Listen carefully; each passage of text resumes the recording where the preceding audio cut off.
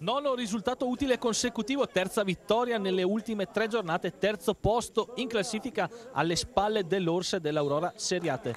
Vola la dell'ese di Roberto Scarpellini che batte 3-2 il Palazzolo nel match clou della quattordicesima di andata. Si conferma la squadra più in palla tra le bresciane di eccellenza. Eppure partono bene gli ospiti, siamo nei primi minuti di gioco. Toma sfiora il palo alla sinistra di Bertoni con questo mancino basso e velenoso che sibila alla sinistra del portiere dell'Ese. Ancora Palazzolo Donati manca incredibilmente il colpo di testa da due passi, occasione più che ghiotta al dodicesimo il vantaggio della squadra ospite, si fa male da sola la Dell'Ese. Bertoni rinvia, poi sbaglia clamorosamente il tempo dell'uscita, si fa scavalcare dal pallone, Giordano non ci pensa due volte, la mette in fondo al sacco, 1-0 Palazzolo, sono passati 12 minuti ma 8 minuti dopo la Dell'Ese è già in partita e anche il Palazzolo si fa male da solo, Gobbi sbaglia il tempo dello stacco, infila il pallone nella porta sbagliata, davvero clamoroso l'autogol del difensore palazzolese, rivediamo lo stacco con la nuca a sorprendere tutti, anticipare compagni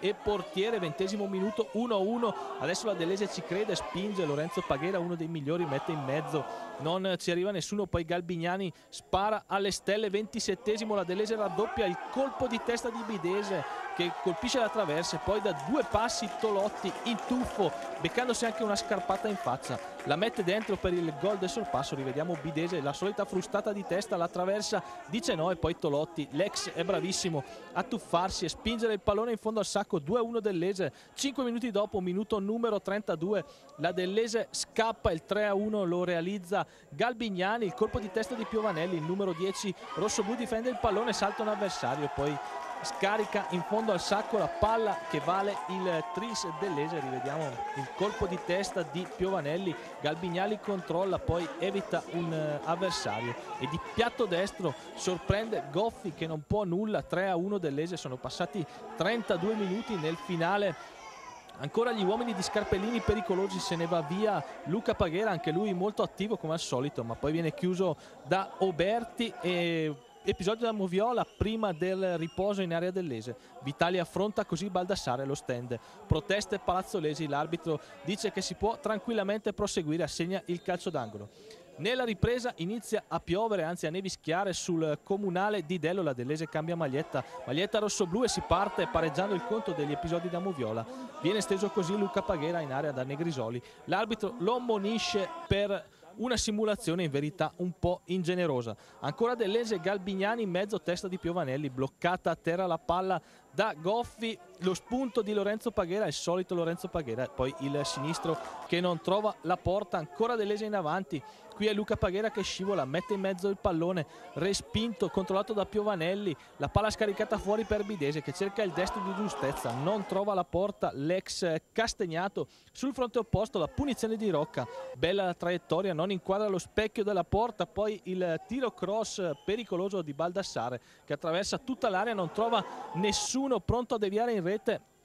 In pieno recupero minuto numero 50 del secondo tempo.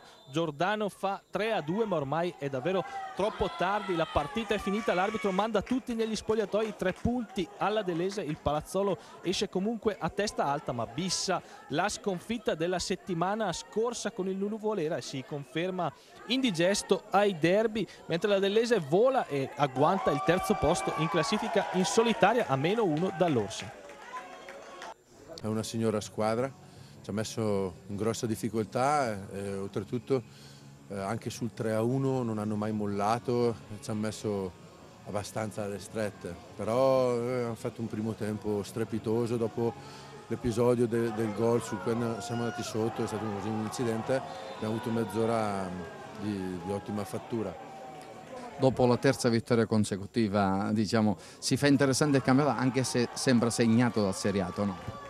Ma sì, Seriate è una squadra di un altro livello e lasciamo andare. A noi interessa stare eh, nel gruppo che, che poi eh, cercherà di giocarsi i playoff, la, la Dell'Ese non li ha mai fatti, eh, ci, ci, vogliamo, ci crediamo fino in fondo.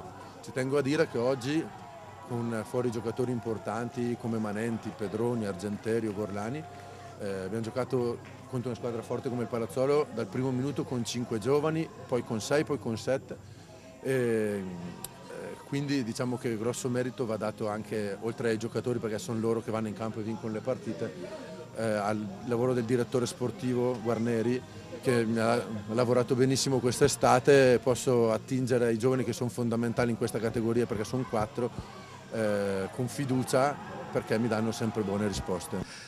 Enrico Guarneri, un, un, mito del calcio dilettantistico bresciano, oggi è, è, è, direttore sportivo della Dellese, diceva Roberto Scarpellini che hai costruito eh, quest'estate un'ottima squadra con giovani di valore, come hai fatto? Ma no, no, no, no eh, si cerca di fare il proprio meglio. No, diciamo che eh, abbiamo trovato un buon gruppo, guarda, abbiamo potuto lavorare da due anni eh, consecutivamente assieme, io e il mister, e, e sinceramente trovando anche una società come la Dellese disponibile e, e, quindi secondo me è stato un, un buon vantaggio. Ecco. Abbiamo potuto lavorare su, su, sui giocatori l'anno scorso e, e, questo indubbiamente ci ha creato notevoli vantaggi. Comunque una buona Dell'Ese questa, dove può arrivare secondo te? Ma eh, può arrivare, non lo so, se manteniamo l'umiltà che è la prima cosa secondo me che, che, che, che fa un giocatore bravo a quello, a quello meno bravo, ma io credo che il campionato è ancora, ancora aperto a tutto. Eh, certo, il Seriate sicuramente è, è uno squadrone e può solo loro secondo me perderlo, anche se ripeto nel calcio eh, mai dire mai.